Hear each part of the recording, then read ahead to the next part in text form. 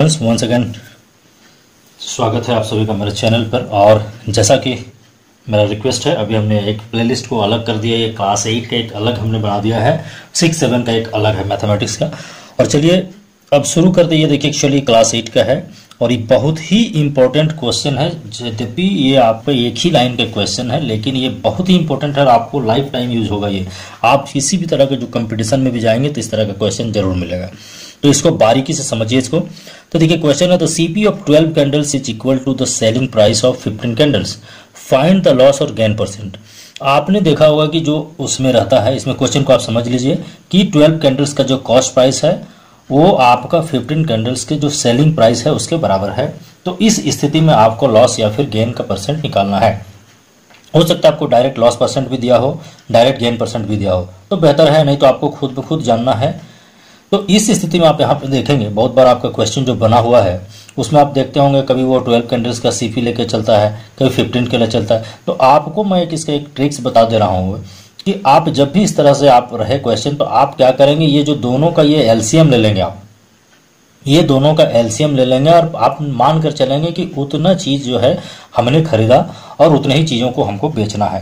तो ये दोनों का यदि आप एलसीएम लेंगे तो 15 और 12 का जब आप एलसीएम लेंगे तो आप देखते होंगे ये 12 एंड ये 15 तो यदि आप करेंगे तो देखिए थ्री फोर और ट्वेल्व थ्री फाइव तो five four twenty and three कितना आ गया आपका ये सिक्सटी तो आप मान कर चलेंगे कि आप जो है क्या करेंगे आप 60 आइटम्स या 60 कैंडल्स यहाँ परचेज करेंगे और 60 कैंडल्स को ही आप बेचेंगे।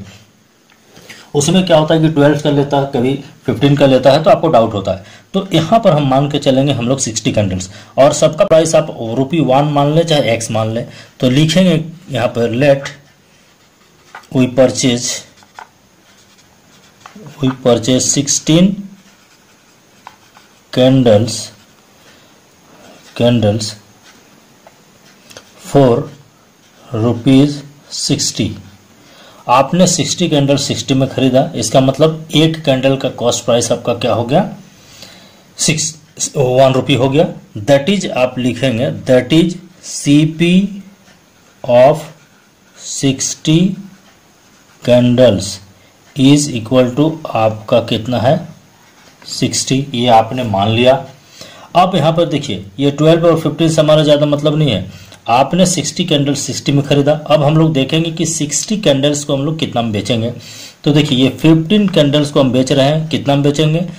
तो जितना में हम 12 को खरीदे थे तो यहाँ 60 को हमने 60 में खरीदा। इसका मतलब हम लोग 12 को कितना में खरीदा? 12 में खरीदा। तो ये सी पी ऑफ़ ट्वेल्व, ये एस पी ऑफ़ फिफ्टीन मतलब 15 को क्या करेंगे हम लोग? यदि 15 को जब हम बेचेंगे तो हमको कितना मिलेगा यहाँ पे? ट्वेल्व रुपीज़ मिलेंगे।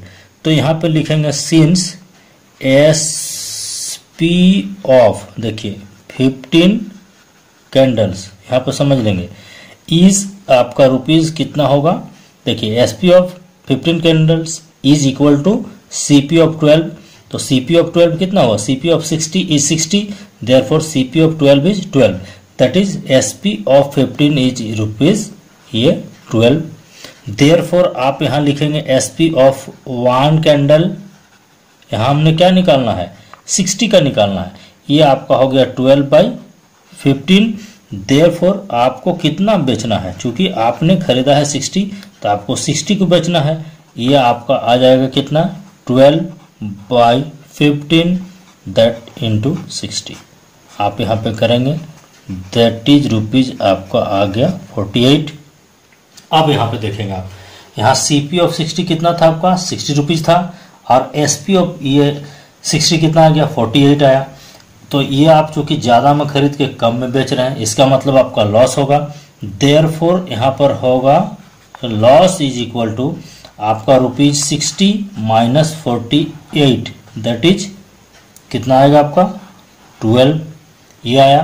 देयर फोर आप लिखेंगे लॉस परसेंट सीधे that is loss percent that is equal to क्या होता है? लॉस परसेंट या गेन परसेंट जब भी निकालना होगा loss by C P into hundred gain रहेगा तो gain by C P into hundred यहाँ लॉस आपका कितना है? ट्वेल्व सी पी हमने कितना लिया था? सिक्सटी आइटम को लेके चला था तो सिक्सटी हो गया सी पी सिक्सटी रुपीज़ यहाँ पे इंटू आपका वन हंड्रेड आप इसको करेंगे twelve one twelve five are and five one five twenty are ये आपका आ जाएगा ट्वेंटी परसेंट आंसर ये आपका फाइनल हो जाएगा।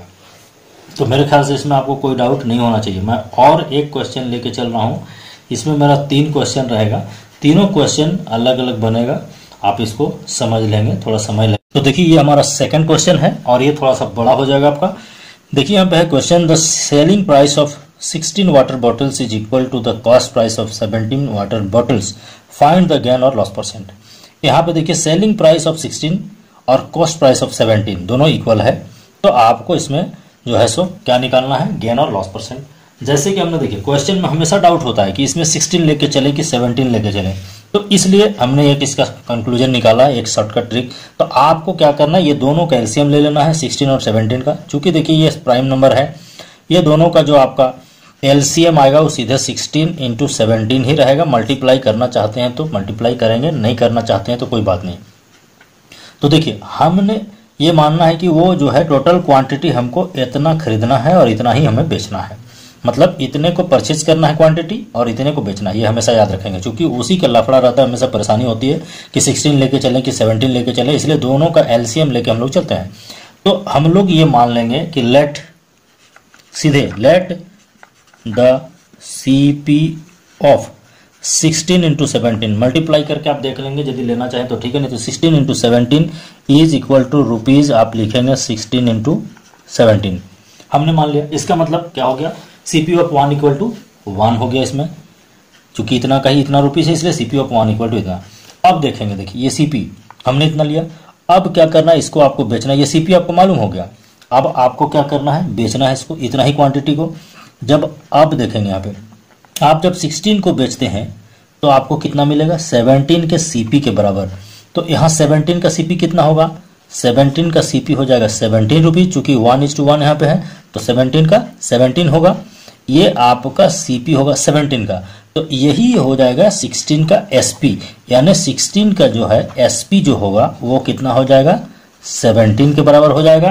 तो लिखेंगे देयर फोर यहाँ पर लिखेंगे सेलिंग प्राइस ऑफ़ कितना?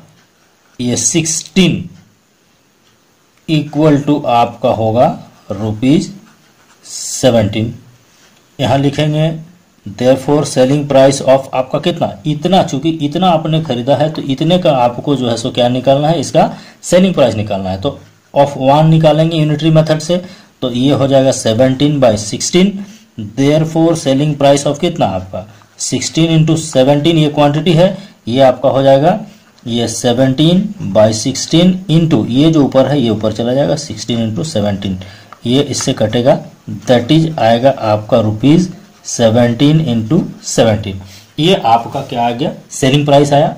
इतने आइटम का ये देखिए सीपी है, इतने आइटम का कितना है? सिक्सटीन इंटू सेवनटीन अब आप यहाँ पे दोनों को देखेंगे। ये सिक्सटीन इंटू सिक्सटीन सेवनटीन है। ये सेवनटीन इंटू सेवनटीन है। ये जब डबल मल्टीप्लाई होगा तो ये ज़ाहिर है, ये क्या होगा? आपका ग्रेटर देन दिस होगा। यानी ये जो सेलिंग प्राइस क्या आएगा? आपका अधिक आएगा। तो जब अधिक आएगा तो क्या होगा आपको? प्रॉफिट होगा। देयर आप लिखेंगे प्रॉफिट इक्वल टू आपका क्या होगा? S P minus C P that is आपका हो गया seventeen into seventeen minus sixteen into seventeen. इसको आप कुछ नहीं करना है, आप सेवनटीन दोनों में कॉमन ले लेंगे। ये हो गया seventeen minus sixteen that is आपका कितना हो गया?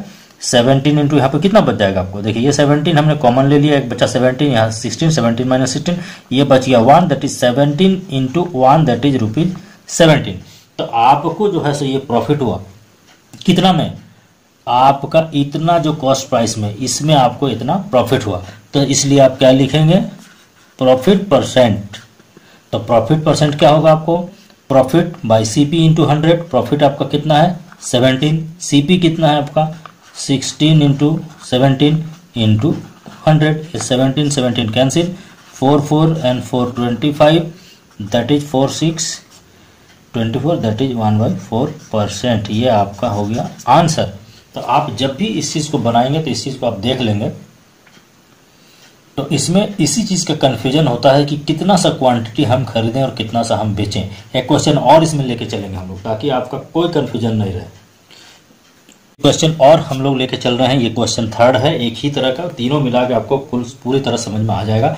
अब यहाँ पर देखिए, यहाँ पे आपका the CP of ten X is equal to the selling price of eight X find the gain और लॉस परसेंट यहाँ देखिए, ये ten X and eight X आप एलसीएम ले लेंगे और उतना क्वांटिटी आपको परचेज करना है और उतना ही क्वांटिटी आपको सेल कर देना है। आप लेके चलेंगे two five and two four अब छोटा नहीं होगा। Five four twenty and forty ये आपका हो गया फोर्टी तो आपको क्या करना है? फोर्टी एक्स को खरीदना है और फोर्टी एक्स को आपको बेच देना है। और हम लोग मान लेंगे CP let the CP of forty x is equal to rupees forty मतलब वन का वन हो गया, सीधी बात है। Forty x is forty. अब, इतना तो आपका सीपी निकल गया। अब आपको क्या निकालना है इसका? Selling price. तो सेलिंग प्राइस देखिए।